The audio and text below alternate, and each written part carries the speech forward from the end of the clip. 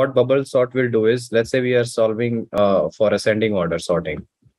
Now the bubble sort, let's say we are solving from left to right and the bubble sort will try to push the largest element to the rightmost side by pair comparison. So the pair comparison holds a transitive relationship. Let's say that there are three elements A, B, C. If you compare A and B and find the max number between A and B, let's say, let's say it turned out to be A, then you are doing a swapping and B is placed here and you are uh, placing A here. Now, if you compare this A with C, and let's say the max number came out to be A again, then you will be swapping this C here and making A come here, right? This is making use of the transitive relationship because you always have one element in common. Let's say index zero and one will be compared. I'm I'm giving you like one run. Let's see. So if you start from the leftmost side and let's say uh, you are going till the last pair, right? So if you have n elements and if one element will always be common in a pair, like something like this, then how many pair comparisons will be there for one run of the entire array? n minus, n minus 1. n minus 1. So that will be n minus 1 pairs. Okay. So let's look at the first pair, 5 and 1. And since I'm solving it for ascending order, I'm trying to push the largest element to the rightmost side.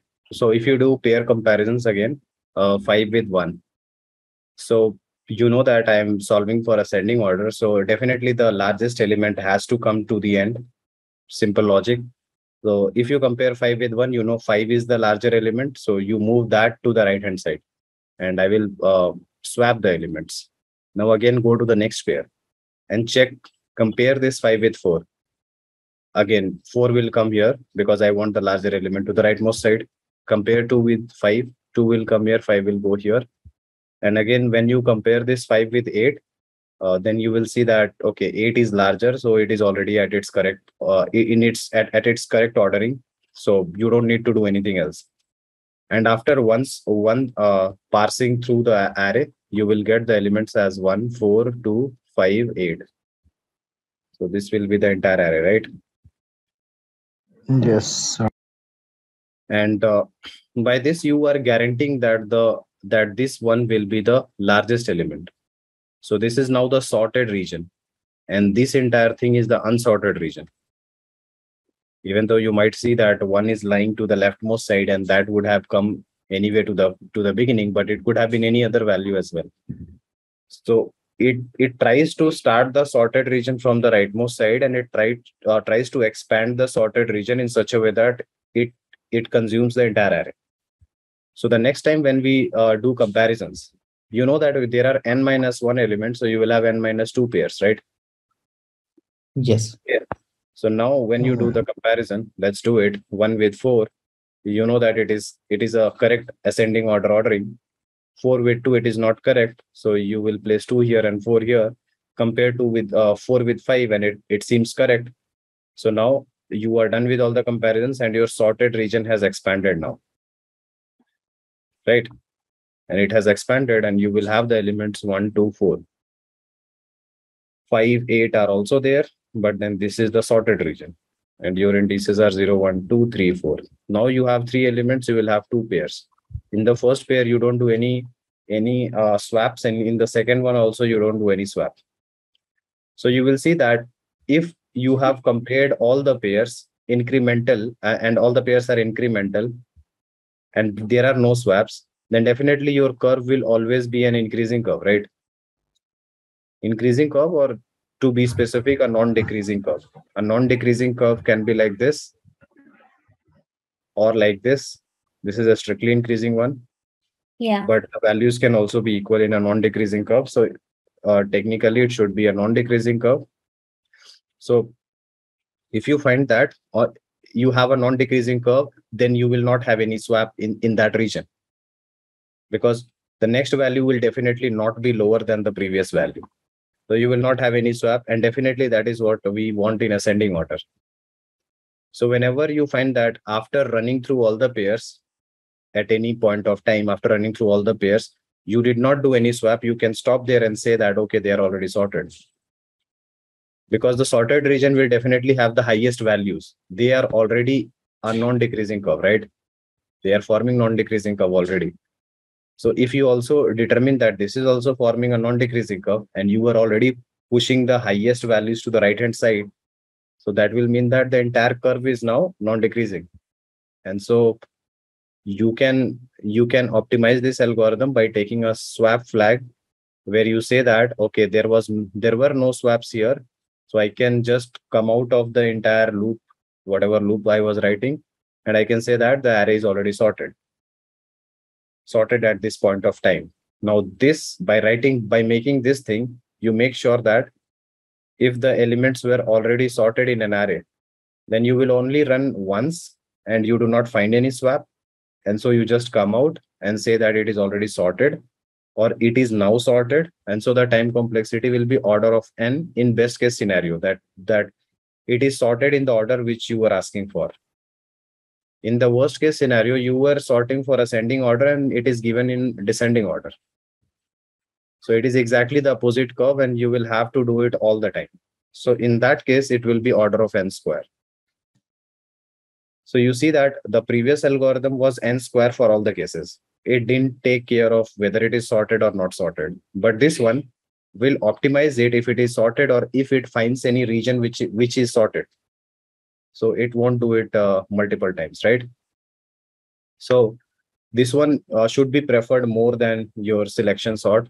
And this is input dependent. This algorithm like if you have any algorithm it is uh, any sorting algorithm it is either input dependent or input independent.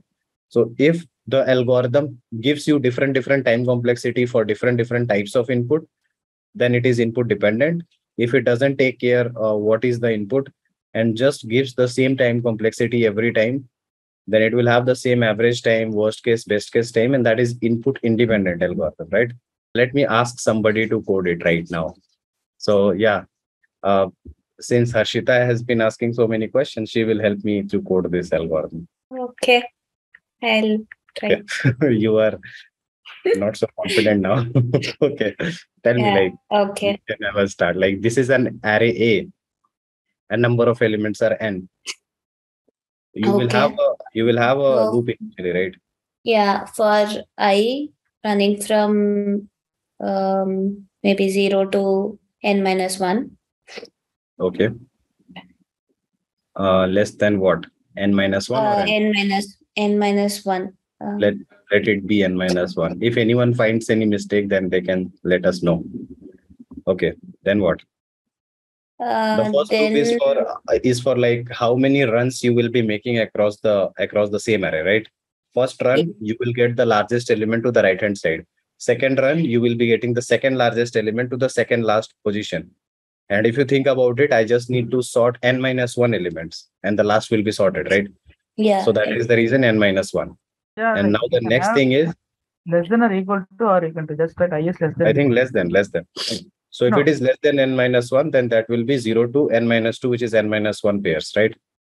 So these are, I mean, n minus 1 runs. So these are the runs which you are making left to right. One sweep is one run, and, and this is the second run, and this is the third run, right? Now for each run, I said that you can optimize it by using a flag, which is the swap flag. Was was any swap done at this point of time? swap is equal to take stop is equals to false. That swap was not done. And now uh, we can have another loop which will be taking care of all the pairs one by one. yeah. And you know that the pair always will start with zero. Yeah. Right, the location always starts with zero, and this will be oh sorry, I, I wrote I again. Have to take J is zero to uh, n minus one. n minus uh, it will go till minus It has to it has to relate to I, right? Because Yeah, the and- first one, yeah, n minus n minus n i minus I minus minus one. one. okay. And then J J plus plus plus, plus. because as soon as the uh, the run number increases, you know that your array is shrinking, your unsorted region is shrinking, right? So Hmm. in one run, you are sorting, you are placing one element at its correct position. And so as soon as i increases, your j value, the range of j will decrease, but it always starts with zero. Okay. Then Now we'll what? compare uh, array of i and array of j. If a of i is Okay. greater than uh, a of uh, j, J. J, yes, only j. yeah. Uh, Yes. And if then that what? is the case, then But we not not J. I J plus one, you right? told it in the in the wrong way. It should it should both be I.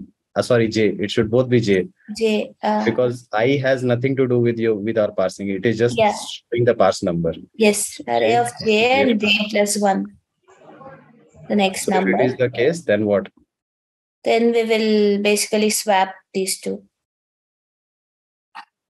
Swap A at J with A at J plus one. Yeah, and And uh, swap becomes uh, true. Yeah. At least you should have one swap. Yeah, then they will check check if that uh, swap has become uh, true or not.